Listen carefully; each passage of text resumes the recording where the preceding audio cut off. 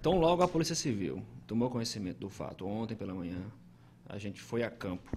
Uh, nós levamos o ITEP para periciar o local. Assim que chegamos, a gente já se deparou com um rapaz cometendo uma depredação e um furto. Imediatamente prendemos, voz de prisão, e foi autuado em flagrante delito. Né? Uh, o inquérito já foi aberto, já foi tombado, o local já foi periciado. Trabalhamos o dia todo ontem e hoje de manhã estamos em campo trabalhando também. Já identificamos várias pessoas e encontramos é, muito material é, subtraído da escola. Esse pessoal está sendo interrogado. Estamos apreendendo material, está sendo uh, devolvido, levado à Secretaria de, de Educação, à Prefeitura. Não é? Estamos analisando as imagens onde há identificação né, a indicação das pessoas que estavam depredando e subtraindo patrimônio público. Então, temos duas vertentes né, de trabalho. Uma é o trabalho em cima das imagens, identificação, recuperação de material, interrogatório e indiciamento. E a outra é junto às autoridades públicas da escola, os agentes públicos da escola e da secretaria.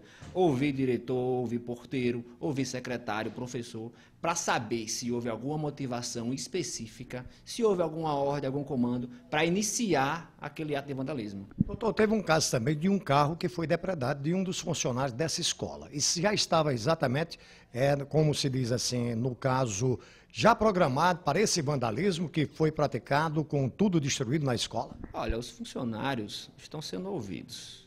Qualquer delito que for relatado em suas oitivas é, será também né, é, apurado. Ao periciar o local de crime, ao analisar, fazer a diligência no local de crime, sente grande repulsa ao ver a escola totalmente destruída. Enquanto policial, já tenho 5, 6 anos de delegado de polícia.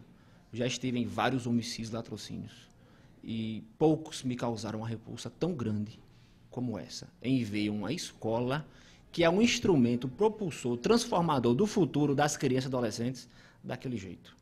Então, assim, é merecedor da devida apuração, não só pela civil, mas por todas as instituições responsáveis interessadas no caso. Judiciário, Ministério Público, Prefeitura, Secretaria, etc.